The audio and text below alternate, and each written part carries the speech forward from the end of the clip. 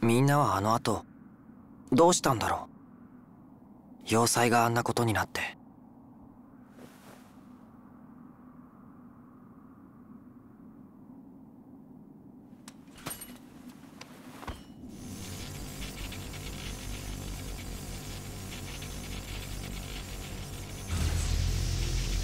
モナドの光がかなり不安定だ。やっぱりあの鬼神兵のせいなのか？それでも僕がフィオルンを守らないと。シルク眠らないの？ごめん。起こしちゃった。ううん大丈夫。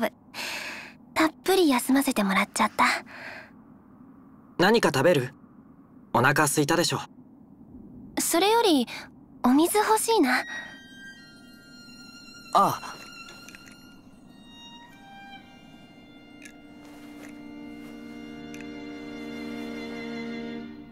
食欲なくても食べた方がいいよ。早く体力つけなきゃ。ううん平気。こんな体だけど便利なんだよ。お腹空かないの。水だけ飲んでればずっと動けるみたい。嫌なこともあったけどちょっとだけ得した気分かな。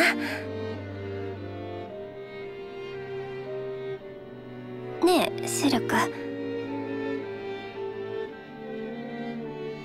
置いてってもいいよ。なんで？だって私こんなだしもう鬼神界の体だからこっちの世界でもうまくやっていけるよ。そんなことできないよ。シルクの知ってる私はあの時死んだの。そう思えば。そんなこと思えないよ。だってフィオルンはここにいるんだ。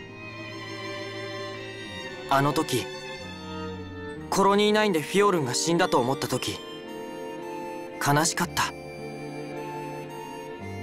悔しかったよ。自分にもっと力があればそう思った。シルクもう後悔はしたくない。僕が君を守るんだそれに君の中で眠ってる人のこと放っておけないだろう。ん。そうだね。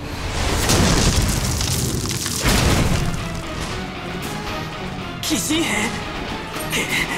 こんな時に！シルク私も